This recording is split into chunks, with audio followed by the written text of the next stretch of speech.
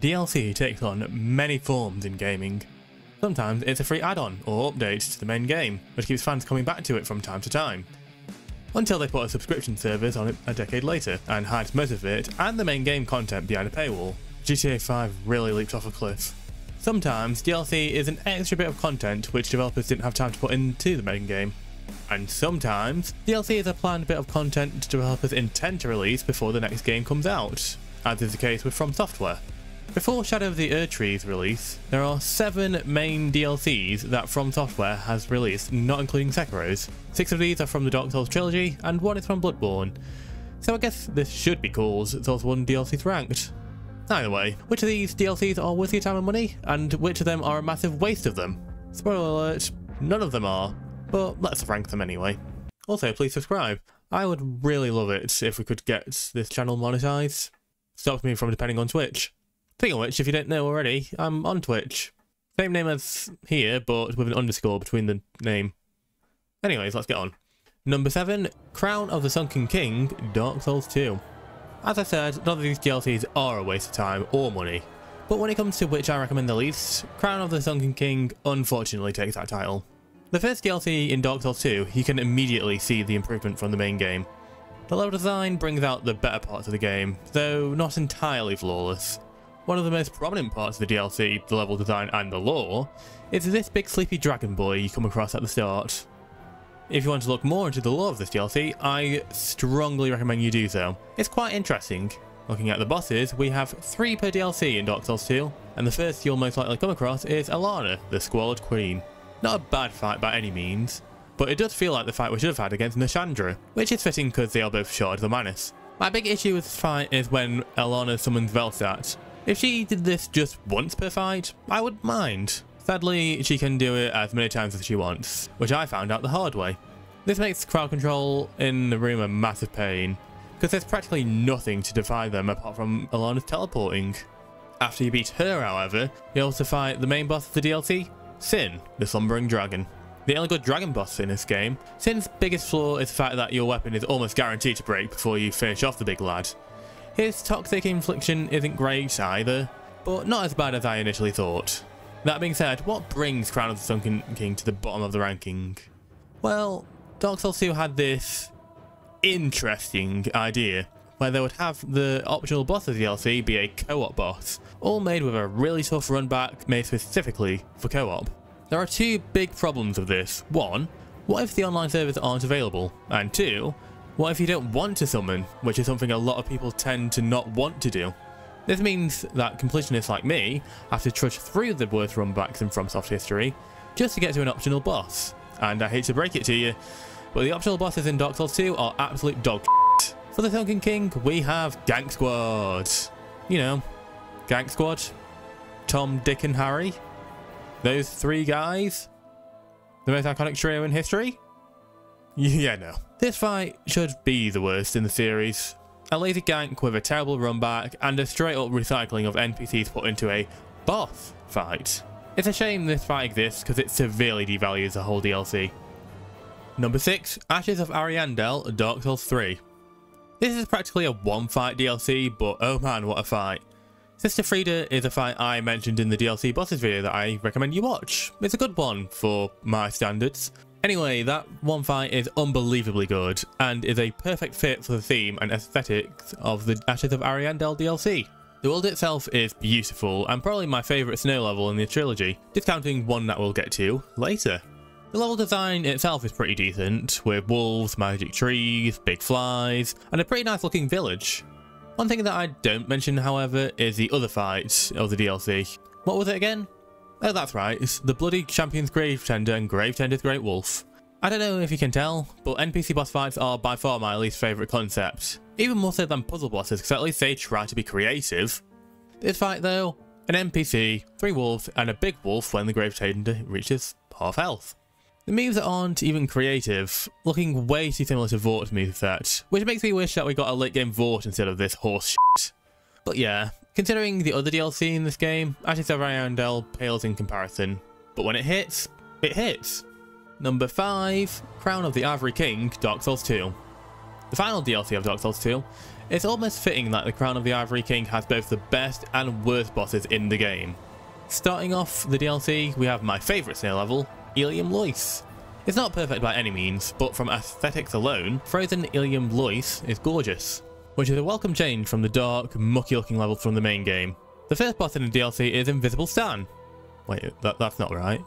Oh, okay. The first boss in DLC is Aava, the King's Pet, who at first appears invisible if you arrive without the Eye of the Priestess. If you do have it though, prepare for a pretty fun fight. While not on the same level as something like Sif, for example, Aava is their own thing, and by golly do they prove it. It genuinely surpassed my expectations, despite the fact that we had a moment where both of us died, and for some reason the fog gate didn't clear. That wasn't fun, but it was still a memorable experience. After that, we have the Burnt Ivory King. As I said in the DLC boss video, check it out, there is nothing like this boss fight, and it alone makes the entirety of Dark Souls 2 worth playing. So of course it makes this entire DLC worth playing. If I'm giving that high compliment to the DLC, what brings it down? I guess it's the worst level in gaming followed by the worst boss fight in the series. DLC3's optional boss is Lud and Zallen, the King's Pricks. Nothing about this boss is original. Hell, the design of the boss is a complete rip-off of a better boss within this very same DLC. I'll go into detail rating this absolute f***ing waste of time and sanity another time, and I'll be doing the same with the frigid f***ing outskirts. Genuinely, who looks at Black Ops 2's Transit and thinks, you know what this needs? Lightning reindeers. Let's just get to the next entry before I lose my mind. Number 4, Crown of the Old Iron King, Dark Souls 2. The second DLC of the game, and its best. Of the Old Iron King had the advantage the other two DLCs on this list didn't, and I was having two brilliant boss fights. Fiona is a fun difficulty spike, and Sir Alonne is a fun samurai battle in the best boss room in the series. The thing that dragged down the DLC is the exact same thing that dragged down the other two in the game, the optional boss. That being said, Blue Smelter Demon is better than both Gank Squad and Lud and Zallen, even if the run back is still terrible. You know who else has an atrocious run back? Sir Alonne! What even is this mess? Why are there fire frogs here? Genuinely, the only thing that makes this DLC a far jump from the top 3 is the fact that they never put a bonfire just before the fog gates. That all being said, I was pleasantly surprised at how decent the Blue Smelter Demon was, and Fume Knight was a much better fight than I was expecting. Number 3, The Old Hunters Bloodborne. A lot of people would put this at number 1, and they'd be very much correct for doing so. The top 3 can be put in any order in my opinion, it's just a matter of preference as to which comes first and which comes third. The Old Hunters DLC is phenomenal for the most part. The Hunter's Nightmare is fittingly grotesque and challenging with all them hunters around, losing their minds. The Research Hall is a fun looking level that's just a bit too confusing for my taste. And the Fishing Hamlet is the toughest level I've ever come across in a game. One thing that I love about the Old Hunters, which sets it apart from the DLCs lower on the ranking, is this intricate story linking the DLC lore with the main game significantly. And to talk about that, we have to talk about the bosses. Living failures are the least significant part of the lore, which is both fitting and relatable. The other four bosses though, they are the lore. Lawrence, Ludwig and Maria are the legendary hunters on par with Gehrman in terms of how memorable they are in the lore. And the Orphan of course is the product of the tragedy that took place in the fishing hamlet. While Lawrence and Living Failures are quite lackluster in terms of the fights, Ludwig, Maria and Orphan make up for that and then some. Those three are legit in my top 10 favourite bosses in the series which I plan on doing a video on after Shadow of the Erdtree comes out. All in all, the Old Hunters DLC is a must play. If you thought Bloodborne was good before, this will enhance that feeling tenfold. Number 2, The Ringed City Dark Souls 3. There's no better way of starting a DLC than by getting a thousand arrow holes in your body. But seriously though, while I'm not the biggest fan of the level design in The Ringed City, that's more of a Dark Souls 3 problem than one exclusive to the DLC. This is the last DLC that we've had until Shadow of the Erdtree comes out, and you can tell that they wanted to go out with a bang. We do get a bit of everything here, a dragon flying around the place until we fight it as a boss, unique NPCs, bloody patches again, an unpoisonous swamp? That's major character development on Miyazaki's part. And to top it all off, we have four bosses, three of which are in genuine contention as the best fight in the series. Demon Prince is severely underrated, although I think he's underrated to the point where he can be a bit overrated, ironically. And I've always spoken about how much I adore Dark Eater Midir and Slave Gael. While the Old Hunters has lore that links strongly back to the main game, the Ring City's lore links back throughout the entire trilogy. We have links to Dark Souls 1 with the likes of Filianore, and we have Earthen Peak returning for Dark Souls 2. Oh, there's the Poison Swamp. I guess the Miyazaki giveth, and the Miyazaki taketh away. With so much good, what can take away the number one spot for the Ring City? Half-Light, Spear of the Church. That's what. Another NPC boss fight, with one of the only enemies more annoying than dogs, Painting Guardians. If you have PvP Half-Light, it can go either way, but for those who can't do PvP, we get the NPC version. And oh boy, he's a f***ing jerk. It's a shame my favourite boss fight is stuck behind one of my least favourites, but that's the only thing that keeps it from being number one. And number one, Artorias of the Abyss, Dark Souls. One thing that Dark Souls 1 DLC has over everything else is consistency. Everything works, from the Sanctuary Guardian at the start to Manus at the end. All four fights here are a cut above the main game, as are the majority of the NPCs. Marvelous Chester, Hawkeye Gale, Elizabeth the Mushroom, and Lord Blade Kiaran. They are some of the most memorable characters in the story. The way it links back to the main game is also awesome. If you look at the design of Oolacile and Darkroot Garden slash Darkroot Basin, you see that they're practically one and the same. And the story of Oolacile is a haunting parallel to New Londo Ruins. When talking about the DLC, we have to talk about its cover boy, the great Knight Artorias, the Abyss Walker.